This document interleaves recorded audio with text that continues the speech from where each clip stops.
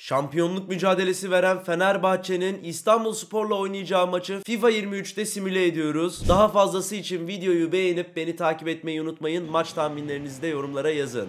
Ve şimdi Ener Valencia Kıvanç kurtardı. Crespo, Ener Valencia tekrardan kaleci kurtarıyor. Fenerbahçe iç sahada oynuyor bu maçı. Joao Pedro gollere devam ediyor. Joao Pedro asist yapıyordu olmadı. Görüntüler ikinci yarıdan Joao Pedro ikinci gol 2-0 yaptı Fenerbahçe. Ener Valencia. Joao Pedro hat-trick. Oğlum bu biraz abartı değil mi kardeşim?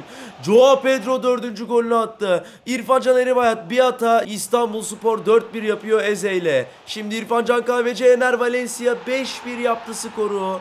Joao Pedro 4 gol ne yapıyorsun ya?